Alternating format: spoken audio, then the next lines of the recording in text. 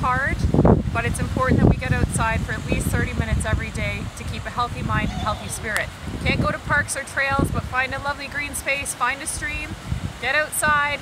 be well, stay safe and healthy,